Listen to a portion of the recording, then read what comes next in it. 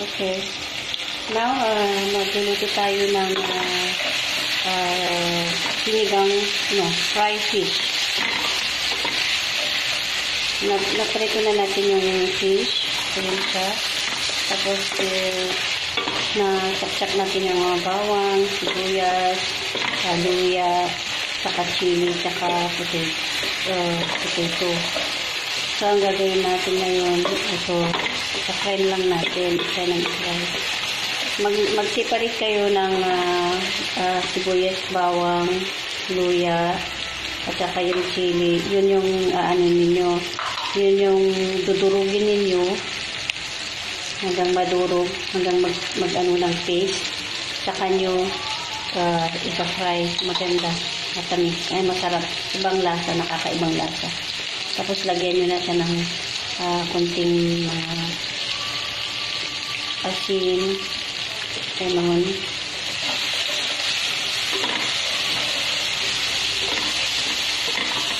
Ayan po. Ayan. Yung tomato. Tapos na, fry na natin yung ano, lagyan na natin siya ng tubig. Para didikit yung lasa sa isda. Didikit yung lasa ng mga sibuyas bawang sa isda. Hmm. Tapos uh, pakuloy natin ng uh, ilang minuto. Uh, ilalagay natin yung fish. Ayan siya guys.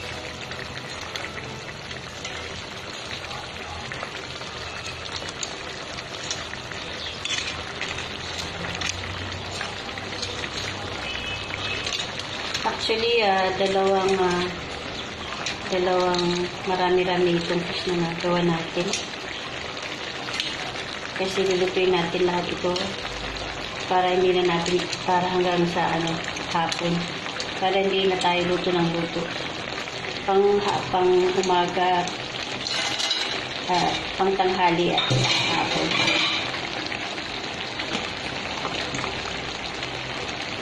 Guys. Tapos, mag-separate kayo ng kalamansi juice. Ito na yung kalamansi juice natin. Tatlo o apat na biraso. Ayan guys. Ayan. Tapos hayaan natin muna kumulo-kulo. Tapos saka na natin babalik na rin para yung sa kabila naman ay malagyan ng lasa.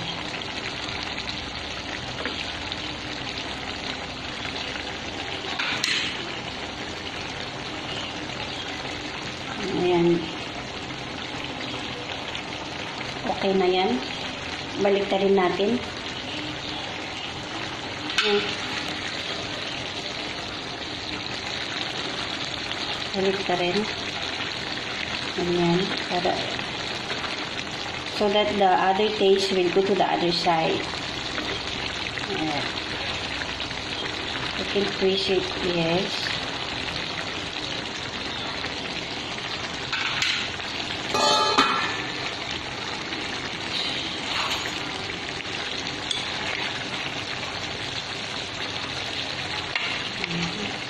Parang ano, ang sarap, sarap, sarap guys.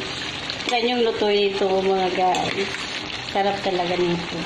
I swear. Hindi nyo pa ito na, na, na hindi pa ito nasubok ng lutuin. Subukan yung lutuin. Yung ingredients lang naman natin ay ano, uh, ayun.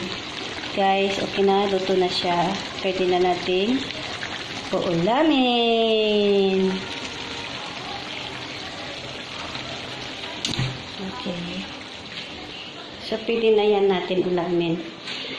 Yung cumin seeds na sinasabi ko mga guys, kung meron kayo nito,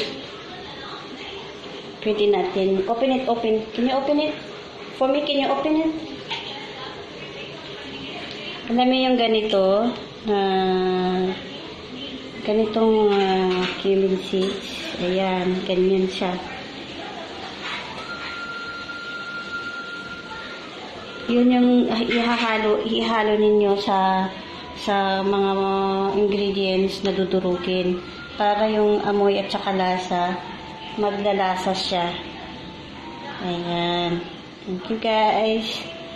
Thank you guys sa panonood sa aking video ngayon. Sana mag-like and subscribe po kayo. Thank you po.